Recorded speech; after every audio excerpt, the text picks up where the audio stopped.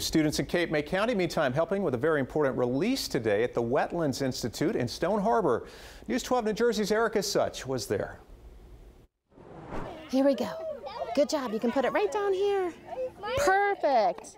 Today in Stone Harbor. What's your turtle's name?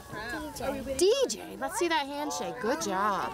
Kindergartners from Stone Harbor Elementary hard at work. We release turtles. And we also went in a line and we released the turtles in order.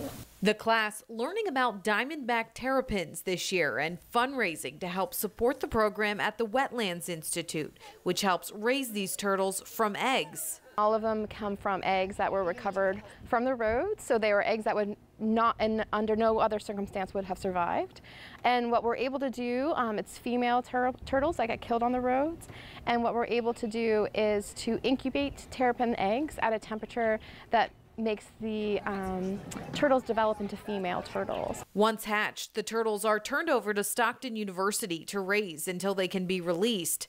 18 set out into the marsh today by these students. They really um, pick up so much and they live in this community, so it's really important that they, they do know these things. The Wetlands Institute says more than 500 female turtles are killed on the roads each year in coastal New Jersey communities, most by accident. But these students want you to know when you see a sign that says Xing, you should slow down to make sure you don't run over the turtles in your car. In Stone Harbor, Erica Such, News 12, New Jersey.